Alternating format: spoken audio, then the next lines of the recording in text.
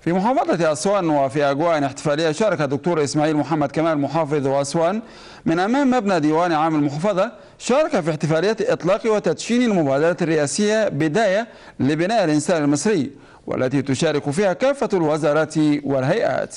من أمام مبنى ديوان عام محافظة أسوان الزميل أنس النمر.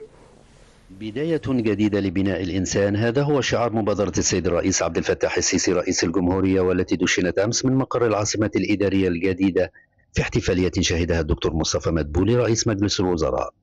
وفي محافظة أسوان شارك اللواء الدكتور إسماعيل كمال محافظ أسوان من أمام مبنى ديوان عام المحافظة في إطلاق المبادرة الرئاسية وسط أجواء احتفالية من خلال جاهزية كافة الجهات المشاركة لتنفيذ الأنشطة والبرامج والفعاليات المتنوعة التي ستشهدها المبادرة في أسوان.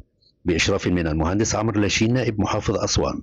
وخلال فعاليات إطلاق مبادرة بداية أكد محافظ أسوان على ضرورة تكاتف مختلف الأجهزة لتحقيق أهداف المبادرة لإعداد مجتمع أكثر وعيا وتقدما ولتحسين قدرة الأفراد وتطوير مهاراتهم وزيادة فرصهم في تحقيق النجاح الشخصي والمهني وتعزيز روح فريق العمل من أجل مشاركة مجتمعية فاعلة.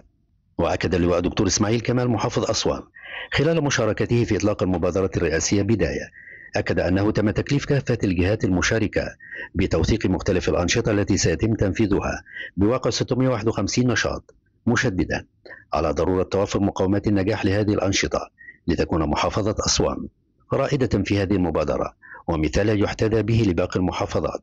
وشدد المحافظ خلال إطلاق مبادرة بداية لبناء الإنسان على أهمية تنفيذ الأنشطة في مواعيدها المحددة بكل دقة وإتقان ووفقا للخطط الموضوعة لها لضمان الوصول إلى أمس.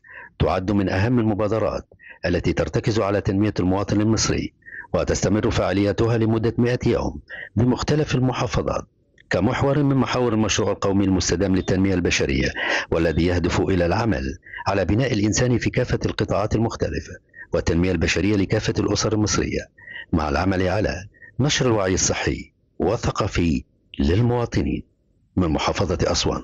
لكم تحياتي. أنا سنم للقناة الثامنة.